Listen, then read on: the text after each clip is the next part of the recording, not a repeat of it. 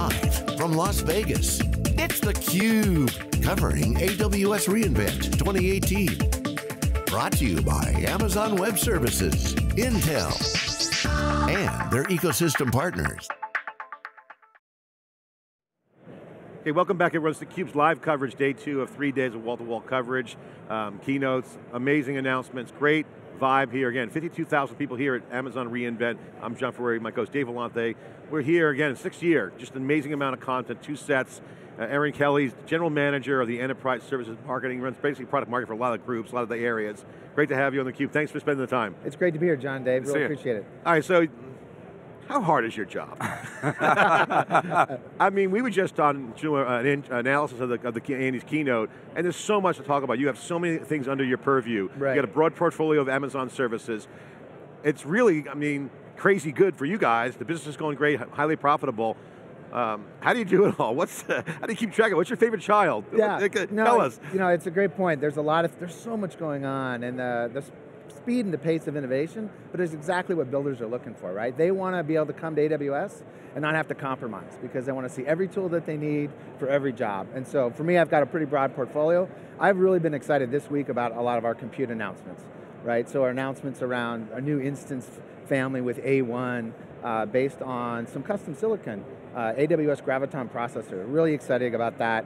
Bringing the ARM community to the cloud for the first time, we're, we're jazzed about that one. Uh, and that's that motivation there is lowering costs for ARM-based apps, right? I mean, it's really twofold, right? It's bringing the ARM community to the clouds. First time we've got an ARM processor and a large cloud provider, so giving them that scale up, elasticity, pay for what you use kind of model.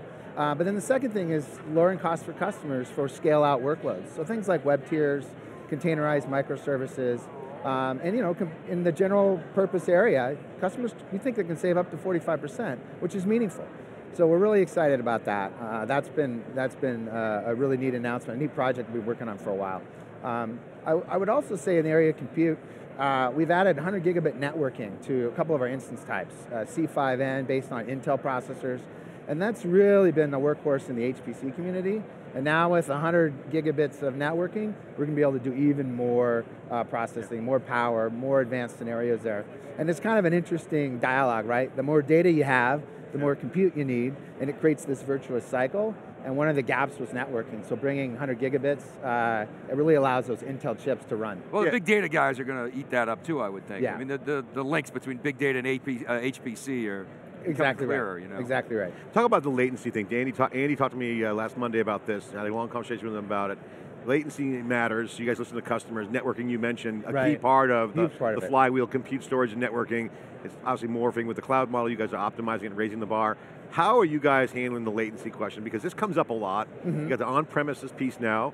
You guys are doing things in the cloud. How do you market that service? How do you handle the latency? How do you, talk about the role of latency in the portfolio? Well, so there's a couple of things in there. I think the first one, what I would highlight is latency within a HPC environment or a machine learning environment. And so that's where, again, this 100 gigabit networking has been really, really powerful. We've also also announced a, a new networking feature or, or uh, protocol, the Elastic Fabric Adapter, which actually allows you to go even faster now in some net networking scenarios.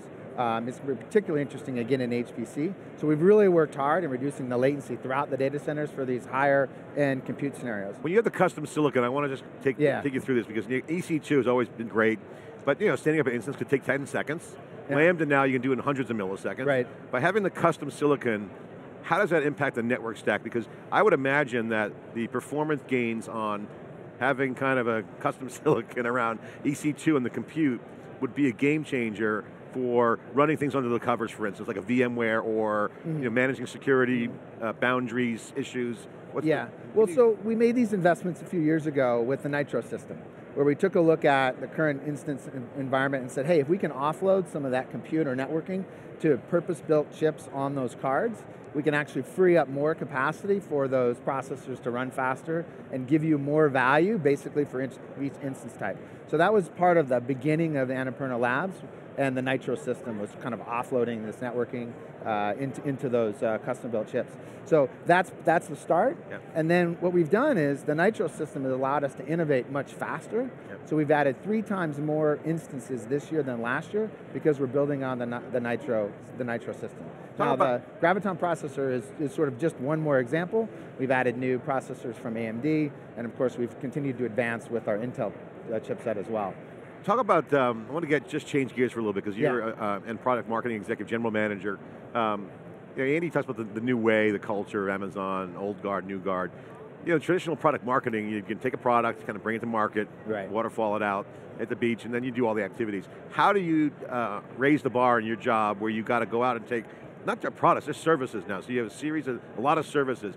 How does that change how you do product marketing, and how's that different from people who might not know how you guys operate? Talk a little bit about the culture of product marketing at Amazon. Sure, yeah. So I would say first and foremost, it's all, it's all about education, right? So we really want to make sure that whenever there's a new service that comes out, we're super clear on what does it do, what is the benefit, um, and how can customers take advantage of it. And we're trying to position it in a way that a, we, we like to say internally, sort of a non-technical CIO can understand.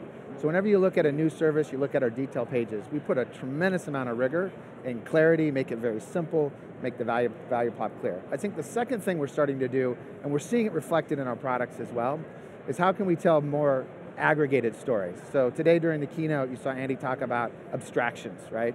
And one of the first ones he mentioned was Control Tower, which is one of my products, so I got a little passion around it. Um, but what's interesting about that is customers were coming to us and saying, okay, I love AWS, I love all these tools, I love the granularity of managing uh, things at a certain level and setting policies at a certain level, but you guys have thousands, millions of customers running, running AWS. What's the right way to set up my environment? Can you give me a blueprint to do it, to set it up and run it in a very secure and compliant way?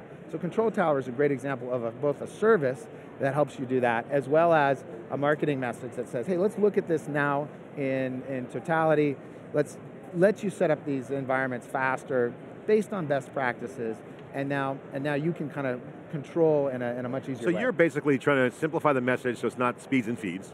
Well, what, I'm, what, I, what I would say is we want to simplify the message so that everyone can understand, but we don't want to lose track of those builders, those, those tinkers that get in there. Yeah. They want the speeds and feeds, they want the knobs, and they part of their differentiation as a developer is understanding all the details. So we Yeah. want to have both. And Well, it's, the right also trying to, it's also trying to hel- help people figure out what to use where. I mean, as your portfolio grows and grows Right. and grows, the, the complexity becomes amazing for some people. And say, okay, help me figure out mapping to my workload, Mm-hmm. what to use where, what's my you know best the best cost solution. Right. Sometimes it's hard to figure that stuff out, isn't it?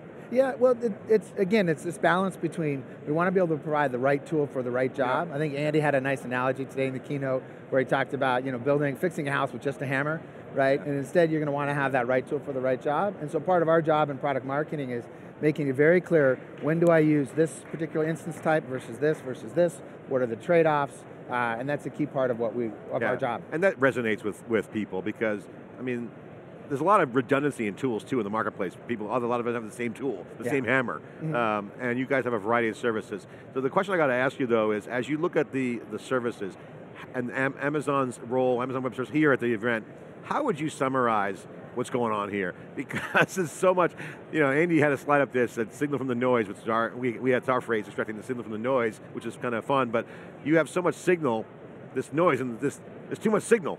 how would you encapsulate for someone watching what is happening this year? How, where is Amazon for customers? What's the positioning? How should they think about it? You mentioned builders. Yeah. How would you kind of summarize what the action is going on here? Right. So I would kind of talk about it like this. I mean, first and foremost, I would say we're adding more capability um, and building the broadest and deepest platform so that builders can always, they never have to compromise, right? They always can find the right tool they need for the right job. So first and foremost, that speed of innovation, that pace of innovation is continued. And if there was one message that people should take away as, wow, they are still innovating like crazy. Um, they have an amazing amount of uh, technology, and so I don't have to compromise when it comes to AWS. So that's kind of the first main message. Then I think the second thing, uh, what I would say, which kind of follows on that is, okay, but we also recognize that we've got a lot of services, and now we need to start to build some services that bring these together. And again, Control Tower, is a great example of that. Lake Formation is a great example of that for Data Lake. So that's sort of the second thing is we are starting to create services that are abstraction layers that bring together Yep. the, a lot of the details to solve very specific problems.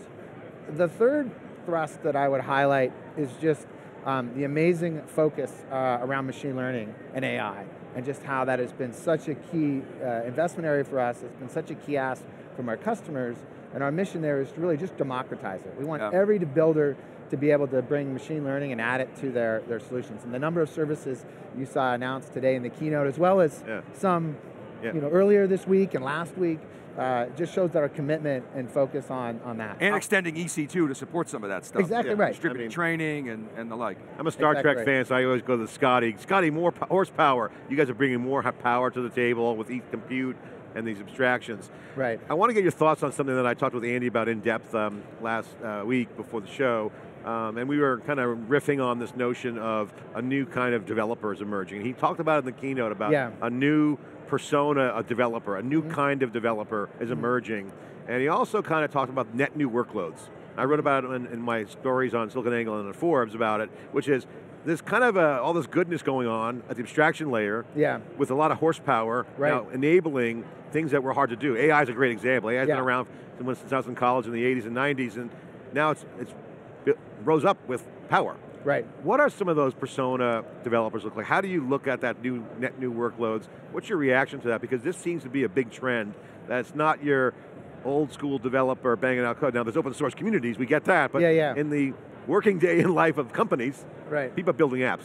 Right. What's this new persona developer look like? Well, there's there's different personalities, right? So there's the, the core tinkerer, like you've talked about. There's now the data scientist that's coming in and taking advantage of these machine learning tools. You know, you have, you have kind of a cloud administrator that's trying to look across everything, and they want to build as well, right? They don't want to just sit there and manage dashboards. They want to build as well, and so we're seeing that in, in some of those personas. Uh, of course, app developers is another big part of it. Now you could talk to Firecracker too, right? So We can talk a little bit. So yeah. I met with Adrian yesterday, and of course, people used to poke at Amazon a lot because, hey, what about open source? You guys Right. giving back to open source. So Firecracker, explain that and, and sort of what you guys are doing there, and specifically in open source. Right. Well, so that's a great example of where we had we had some technology, and what Firecracker is is uh, you know it's a container for microservices that can run in a non-virtualized environment, and we've used it as the underpinning for Lambda and Fargate. Um, and we looked at it and we said, you know what, we want more people to be able to take advantage of this because it's about saving money, it's about improving security, and so we decided to open source it. And so that was one of our announcements on, on uh, Monday was open sourcing Firecracker and making it available uh, to the community. Um, and so we're really excited about it. One of the things that I want to ask you as we wrap up here, first of all, great job on all the work you guys have done at Amazon. Impressive to see Thank the, you. the level of services that you guys are announcing. Yeah. It's become a competitive advantage and you got a great trajectory, a lot of learnings. Yeah. And as Andy says, you, there's no time compression for experience and, and, right. and, and time, and which is good for the competitive strategy. But as you look forward in 2019, um, what's your plan? What are your goals? How are you going to raise the bar? Uh, in term you guys use a lot. What's your what's your goals? What are you got? What are you trying to accomplish? You know, I mean, the number one thing that we spend our time on is listening to customers and saying, what's next? What do you need next, right? Um, 90% of our innovation comes from customer input. Uh, and so now we've got a new wave of services we're introducing. We're going to spend time with customers. They're going to give us feedback. We're going to make those services better, and then we're going to Yeah. find new places where they want us to go. So uh, next year is going to be just as exciting as this year. and you know, next year when I see you guys here, Yeah. we're going to talk about a whole new wave of things coming out. It's You- be You're fun. certainly running hard, and, and the other thing I noticed in, in learning how Amazon works and, and getting deeper into, under the covers there, you got a growing field. Great professional services Yeah. and Salesforce that's not trying to you know grab the wallet from the customer. You guys have a long game perspective. That's right. Carla um, had a great conversation with her about this. You have to service that. How are you going to um, enable these guys? You mentioned education earlier. This is a big part of your plan, right? I mean, Yeah. The, the integration with the field. How does that work? Are you going to provide the messaging, all the tools? How? Because that's growing. You got to Yeah. service that. What's your perspective on Oh, the field? for sure. No, you're, you're highlighting my Q1 goals right now. Uh, no, it's really important to dial up that connection because as, the, as we get more and more services, our field sellers, what's great about our field teams is they're so aligned to customer needs. So they don't carry specific quotas on individual products and things like that. They're really focused on, hey, what do you need? And how can I use the full portfolio to help you out? And so part of then our challenge as a product marketer is not only educating customers on our products, but educating the field on our products and which ones are most valuable for what scenario. So that's a big part of our, our focus as well within the Yeah. product marketing function is, hey, how do we really nail these scenarios, very crisp, crisp, very compelling, both for the customer and the field seller to say, oh, oh, I saw that Yeah. pattern in a customer, let me go bring this technology forward and, and talk to them about it. So really excited about next year. And you hit on something else that I think is really important, which is this long-term view, is our sales teams, they've always taken a long-term view with customers. They're not sitting there at the end of the quarter trying Yeah. to, you know, you know, close the deal. It's all about that, that long-term view. Um, and it's allowed us to make some of these investments we've had. We've You made. guys also use your own technology too, I noticed in a lot of the different groups. Um, you got all the goodness of cloud. You got to use some of that tech. You probably got some machine learning waiting around the AI bots and you know, all kinds of cool tools you're integrating in, dog fooding or what do they call it? Yeah, well, I mean, the reason why we've been able to add so many services every year is because we build on our own platform, right? yeah. And so you can have a very small team. We talk about the two pizza team. A very small team is able to build these services because they use AWS in its entirety. Yeah, Um, and yeah. so it's very, very exciting as these things get connected. Like last week we talked about um, uh, predictive auto scaling. So one of the features, auto scaling has been a pretty pop- popular feature over the years where people can scale up and scale down a large fleet of EC2 instances. Yeah. Well, now we've added machine learning to that where it'll now predict when the scaling should happen. So Yeah, right. it allows you to scale up your EC2 instances ahead of time Yeah. uh, based on historical patterns. So there's ML coming into everything And we do. serverless is booming too. I mean, that's going to Yeah. be a big part of your focus. By the way, you mentioned the fleets. I love this. We haven't talked about much on the cube, but this notion of fleets is pretty, pretty powerful. Right. You know, having just uh, you know bun- bunch of fleets, ready, of servers ready to go. ready to go and Yeah. being able to manage across the different pricing models is also very, very powerful. I want to really ramp up very, very quickly, Yeah. take advantage of sort of spot instances in those moments with really big cost savings, as well as ramp back down. Hey, Yeah. keep keep adding functionality, keep removing all the, the barriers, lowering the price, making it high performant, and I love that business model. A lot of Yeah. companies don't have that, so Right. congratulations. No, we just always want to add more. We want to give customers more tools so they can have the right tool for the right job. We want to give them the most powerful platform so they can do the highest end things, as well as give them scenarios where, hey, it's a little bit lower cost and it's for smaller workloads. Like we don't Yeah. want to overpay and over be over provisioned. That's Yeah. a key part of our. I want it all and I want it now. Well, you did That's it. right, that's Never right. done. Well, you did a good job on the messaging. Andy was like, must have mentioned builders and right tool for the job. I think there's a drinking game going on That's on right. that. He mentioned multiple times. Yeah. Congratulations, Eron. Thank Hey, Kelly. Thank hey, you. thanks, John Dave. Thanks really for coming appreciate on. your time on the cube. General Manager, Amazon uh, Product Marketing here inside the Cube, breaking down what's going on, what's his goals, how Amazon keeps up with the pace. Good insight. I'm Jeff Dave Stay with us for more coverage after this short break.